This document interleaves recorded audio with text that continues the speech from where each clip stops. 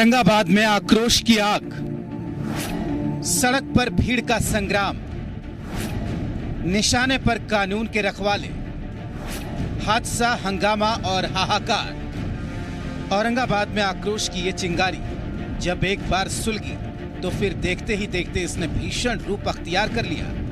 गुस्से के इस गुबार के सामने जो भी आया, वो अगले ही पल धू धू कर जलने लगा। सड़क हादसे में मारे गए एक युवक की लाश इस आग को बार बार भड़का रही थी और भीड़ के निशाने पर थे।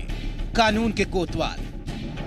के बाद क्या हुआ? एक्सीडेंट के बाद हम लोग का मालूम था लाश बाहर से बाहर लेके जा रहा था औरंगाबाद चुरा के क्यों ले जा रहा था? किस लिए ले जा रहा था? कि चुपे ले जा रहा था? मिला लिया ट्रक वाला से? ट्रक वाला से मिला के ले जा रहा था?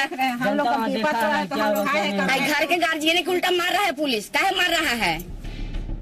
सड़क पर हुआ एक हादसा। कब हंगामे में तब्दील हो गया? और कब इससे हाहाकार मच गया, पुलिस को भी पता नहीं चला। लोगों ने आरोपी ट्रक ड्राइवर से पुलिस की मिलीभगत का आरोप लगाते हुए थाने पर हल्ला बोल दिया और जब्त गाड़ियों को आग के हवाले कर दिया। जब तक पुलिस के अफसरान लाठियों के दम पर भीड़ को खदेड़ पाते, तब तक बड़ा नुकसान हो चुका था। बहुत सारे लोगों को गिरफ़्तार किया है। तो सब लोगों पे भी कड़ी कार्रवाई होगी, सभी जेल जाएँगे। और अभी हमारा फोर्स अभी यहाँ डेप्लॉयड रहेगा। और